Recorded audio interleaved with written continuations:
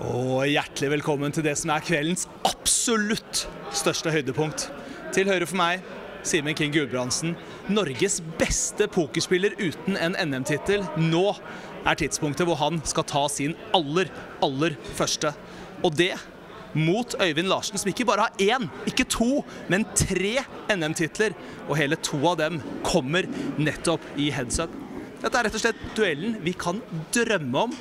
Dette er duellen du burde glede deg til, og dette er duellen som du kommer til å ryke av. Let's get ready to rumble! Kjør!